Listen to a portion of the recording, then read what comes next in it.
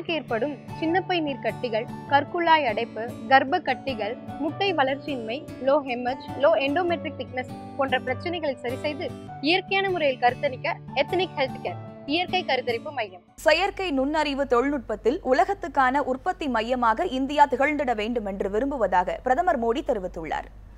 Rice இரண்டாயிரத்து இருபது என்னும் செயற்கை நுண்ணறிவு மெய்நிகர் மாநாட்டை மின்னணு மற்றும் தகவல் தொழில்நுட்ப அமைச்சகம் மற்றும் நிதி ஆயோக் ஆகியவை இணைந்து ஐந்து நாட்கள் நடத்தி வருகிறது.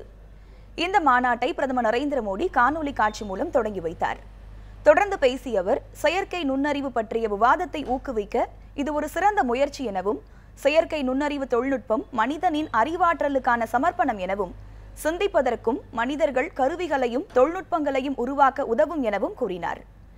இன்றைய தகவல் தொழில்நுட்ப யுகத்தில் இந்தியா மிகச்சிறந்த பங்களிப்பை அளித்து வருவதை சுட்டிக்காட்டிய பிரதமர் மோடி செயற்கை நுண்ணறிவில் உலகத்துக்கான உற்பத்தி மையமாக இந்தியா திகழ்ந்திட வேண்டும் என்பதே தமது விருப்பம் எனவும் குறிப்பிட்டார்.